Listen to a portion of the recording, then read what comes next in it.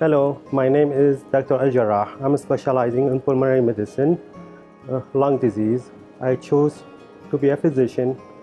My mother had shortness of breath when I was a child, so I would like you to breathe better.